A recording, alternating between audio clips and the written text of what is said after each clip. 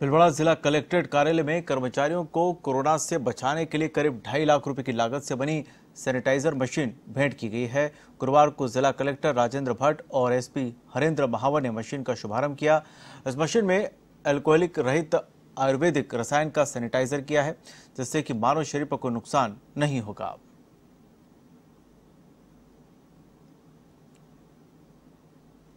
में nano life company के द्वारा सिल्वर की जो नैनो पार्टिकल्स होते हैं, उस औषधि का यूज़ करते हुए, आयुर्वेदिक औषधि रजत भस्म का यूज़ करते हुए एक सैनिटाइजर टनल का निर्माण किया है और उसको इंस्टॉल किया है।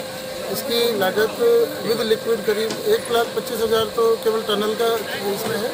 लिक्विड के समेत ढाई लाख के करीब ये टनल की लागत आई है। इसका सबसे मेन फ़ायदा ये है कि ये अल्कोहल रहित है। इसमें जो भी सैनिटाइजिंग मशीन का यूज़ किया मेडिसिन का यूज़ किया है, उसमें कोई अल्कोहल या कोई हानिकारक केमिकल नहीं है, केवल आयुर्वेदिक